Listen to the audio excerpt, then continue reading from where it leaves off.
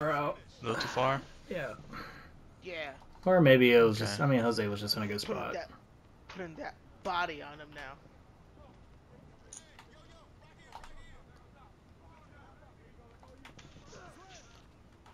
Game time. Oh. That's silly. Standing Just 360. that shit is so nasty.